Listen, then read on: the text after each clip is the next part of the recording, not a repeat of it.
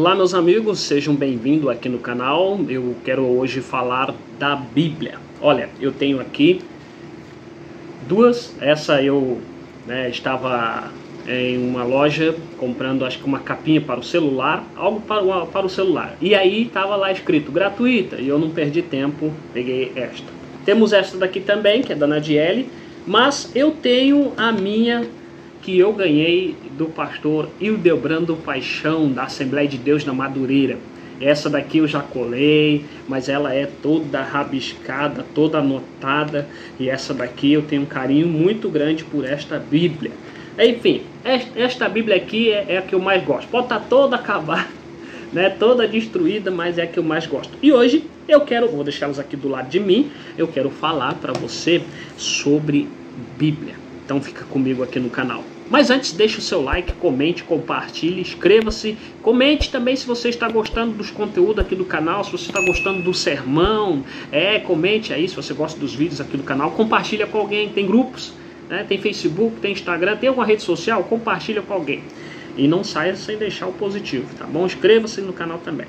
Então vamos lá, vamos para o assunto. Eu quero falar sobre a Bíblia. O que é a Bíblia?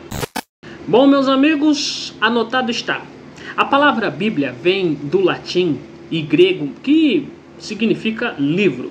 Um nome apropriado, já que a Bíblia é realmente um livro para todas as pessoas de todas as idades e também para todas as pessoas em todos os tempos. É um livro sem igual, sozinho em muita em sua classe. Né? 66 livros fazem parte da Bíblia. E eles incluem livros da lei, tais como Levíticos, como os Deuteronômio, livros históricos, tais como Esdras e Atos, livros de poesia, tais como Salmos, Eclesiastes, livro de profecias, tais como Isaías, Apocalipse, e também de biografia, tais como o Evangelho de Mateus, o Evangelho de João. Temos também as epístolas, as cartas escritas por apóstolo Paulo, e tais como Titos e Hebreu. O que é a Bíblia?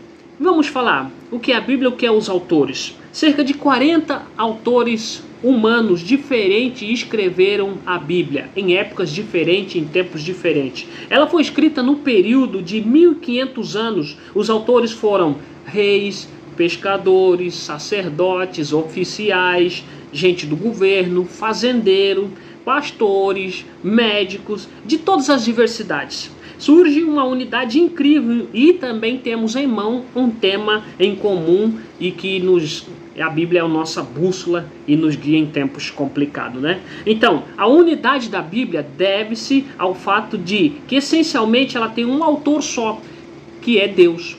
Ele é o autor da Bíblia. A Bíblia é inspirada por Deus e escrito está. 2 Timóteo capítulo 3, versículo 16. Os autores humanos eh, só escreveram a Bíblia o que Deus queria que eles escrevessem. E o resultado foi a perfeita e boa e santa palavra de Deus. Escrito está em Salmos capítulo 12, versículo 6 e 2 Pedro capítulo 1, versículo 21. O que é a Bíblia? Vamos olhar então as divisões. A Bíblia é dividida em duas partes principais. Temos a parte do Velho Testamento e a parte do Novo Testamento. Em um resumo, o Velho Testamento é a história de uma nação e o Novo Testamento é a história de um homem. A nação foi a forma que Deus usou para trazer o homem ao mundo. O Velho Testamento descreve fundamentos, preservações das nações de Israel. Deus prometeu usar o povo de Israel para abençoar o mundo inteiro. Escrito está em Gênesis, capítulo 12, versículo 2 e 3. Uma vez que Israel tinha sido estabelecido como nação, Deus fez surgir uma família daquela nação, através do qual a, a benção ia vir. Então, a família de Davi, Salmo lá, Salmo 89, no versículo 3 e 4, então a família de Davi foi prometido um homem que traria a bênção para todo o povo. Isaías capítulo 11, versículo 1 e até o 10. O Novo Testamento, então, para nós detalha, a, traz como detalhe a vinda desse homem prometido, o qual o profeta Isaías fala. Então, seu nome, todos nós conhecemos Jesus Cristo. E ele cumpriu a promessa do Velho Testamento por, por viver uma vida perfeita, correta diante de Deus, morrer para ser o Salvador, trazer salvação e ressuscitar dentre os mortos. O personagem principal nosso. O personagem principal nosso, quando olhamos para dentro da Bíblia, é Jesus Cristo. Ele é o personagem principal. O livro inteiro é sobre ele. O Velho Testamento prediz o que? A sua vinda e, e prepara o palco para a sua entrada. A gente olha lá para o Evangelho de João, no, no primeiro versículo, e vemos João Batista anunciando né, a vinda prometida do Senhor. Então, o Novo Testamento descreve sua vinda, seu trabalho para trazer salvação, e Cristo fez muito mais. Cristo também se compadeceu, Cristo também chorou, Cristo também ressuscitou os mortos, curou os doentes, os leprosos, fez muito mais. Então, mas o propósito era salvação para um mundo caído, para um mundo pecador. Jesus é mais do que uma figura só histórica. Na verdade, ele é mais do que um homem. Ele é o próprio Deus, o qual está escrito no Evangelho de João, capítulo 1. Deus em carne, Deus em divindade. Então, a sua vinda foi o evento mais importante da história do mundo. Deus se tornou homem como nós para dar um retrato claro de compreensível de quem ele é. Como é Deus? Ele é como Jesus, Jesus é Deus na forma humana. João capítulo 1, versículo 14 e também lá João 14, versículo 9. Temos então aqui um curso, um resumo o resumo é que Deus criou o homem e colocou em um ambiente perfeito, sem morte, sem dor, sem nada do que você vê hoje. Então, no entanto, o homem se rebelou contra Deus e deixou de ser o que Deus tinha planejado para que ele viesse ser. Deus colocou o mundo sob uma maldição por causa de quê? Da rebelião, por causa do pecado. Mas imediatamente colocou em ação um plano para restaurar o homem e toda a criação. Deus ama nós seres humanos, tanto que a Bíblia diz que Deus amou o mundo de tal maneira.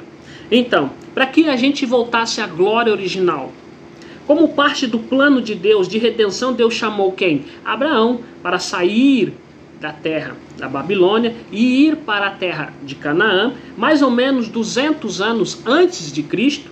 Deus prometeu a Abraão, seu filho Isaac e o seu neto Jacó, também chamado de Israel, porque Deus tem o poder para mudar nome, que ele iria abençoar o mundo através de seus descendentes. A família de Israel emigrou de Canaã a Egito, onde eles passaram a ser uma nação. Mais ou menos 1400 anos antes de Cristo, Deus guiou os descendentes de Israel a deixar o Egito sob a direção de quem? De Moisés. Então, deu a eles a terra prometida, Canaã, através de Moisés, Deus abençoou o povo, a lei e fez uma aliança, ou seja, um testamento com eles. E eles permaneceram fiéis a Deus e não seguiram a idolatria das nações vizinhas, das nações que estavam ao redor deles. Eles iriam então prosperar. Mas eles, mas como é de natureza humana, sempre se rebelar, sempre cair, eles abandonaram a Deus e começaram a idolatrar ídolos. Então Deus, em muitas diversas vezes, destruiu povos, nações, destruiu nações. Mais ou menos 400 anos depois, durante o reinado de Davi e também o reinado de Salomão, Israel se solidificou um reino grande e poderoso. Deus prometeu a Davi e também a Salomão que o descendente dele reinaria como um rei eterno. Depois do reino de Salomão, a nação de Israel ficou dividida. As dez tribos do norte se chamavam, chamaram de Israel, eles duraram mais ou menos 200 anos. E eles duraram mais ou menos 200 anos até que Deus os julgou por sua idolatria. Aí veio a Síria, levou Israel cativo e mais ou menos 721 a.C., as duas tribos do sul, chamada de Judá, elas duraram mais tempo, mas eventualmente também abandonaram a Deus e a Babilônia levou eles cativo. Mais ou menos 600 anos antes de Cristo. Mais ou menos 70 anos depois, Deus graciosamente trouxe os restantes dos cativos de volta à sua própria terra, a terra de Jerusalém. A capital foi reconstruída mais ou menos 444 anos antes de Cristo. Israel mais uma vez estabeleceu sua identidade nacional. Dessa forma, o Velho Testamento aqui termina. Então entramos no Novo Testamento. entramos no Novo Testamento, começa mais ou menos 400 anos depois, com o nascimento de Jesus Cristo, através da mãe de Jesus Maria. Né? Lá em Judá, Jesus era descendente, então Jesus prometido, né, descendente de Abraão, descendente de Davi, é, aquele que iria cumprir o plano bom e perfeito de Deus e redimir, trazer de volta nós seres humanos para viver em paz com Deus e voltarmos à nossa terra natal, voltar à nossa pátria celestial. Restauração recebemos da parte de Cristo. Jesus fielmente completou essa tarefa. Claro, foi tentado a desistir, foi tentado pelo inimigo, mas fielmente completou a tarefa. Ele morreu pelos nossos pecados, ressuscitou dos mortos. A morte de cruz, a morte de Jesus Cristo é uma base para nossa nova aliança, nosso novo testamento com Ele. Todo aquele que vai até Jesus através da fé vai ser salvo do pecado e vai ter o direito de viver eternamente ao lado dele. Depois, então, olhamos para a sua ressurreição. Jesus enviou quem? Seus discípulos para anunciar as boas novas, pois escrito está ide por todo o mundo, né? Então, ele saíram anunciar as boas novas com grande poder e anunciar salvação em todos os lugares. Os discípulos de Jesus saíram em todas as direções, inclusive eu também sou um discípulo de Jesus e também estou anunciando a você boas novas de salvação por meio de Jesus Cristo. E eles vieram pela Ásia Menor, Grécia e por todo o Império Romano. Então o Novo Testamento termina com uma profecia e que o qual nós fielmente aguardamos, que é o retorno do nosso Senhor e Salvador Jesus Cristo. E ele virá, e todo olho verá, e ele vai julgar o mundo incrédulo e libertar a criação da maldição. Deus abençoe você e eu hoje falei sobre a Bíblia.